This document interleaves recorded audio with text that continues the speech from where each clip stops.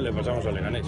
Contra el Celta pienso absolutamente lo mismo. Lo pienso en absolutamente todos los partidos. Por lo tanto, creo que nuestro objetivo y nuestra ilusión es ganar el domingo y creo que lo podemos conseguir y mi deseo es conseguirlo, claro.